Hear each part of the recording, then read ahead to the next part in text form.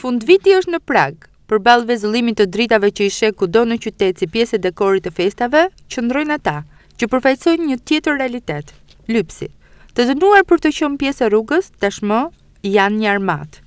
Kjo zgjedhje e diktuar nga varfëria dhe pasiguria sociale në Shqipëri, i bën që të shesin apo thjesht të lypin. Shumica prej tyre fëmijë nga mosha gjashtë deri në shtatëmbëdhjetë vjeç. Aktualisht në situatë rruge janë afro tre mijë, por shifrat reale janë shumë më tepër se kaq. Ofertat për shkollim apo për aktivitete edukative nga ana e institucioneve shtetërore janë të pakta. Ata që janë në situatë rruge për të shitur produkte të ndryshme vlerësohen në nivelin tridhjetë e tetë për qind. Vetë lypja për para 35 për qind, riciklimi i materialeve plastike 8 deri në 20 për qind dhe në punë informale rreth 15 për qind e fëmijëve.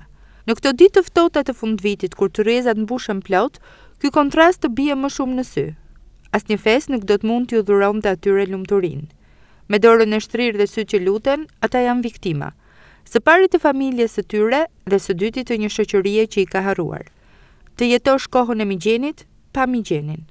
A ma fal ni lek? Është ende sot refreni i qytetit tem. Të dënuar pafajësisht për të vuajtur gjithë jetën dhe për të vazhduar sagën e dhimbshme të lypësit, pa shpresë dhe pa shpëtim.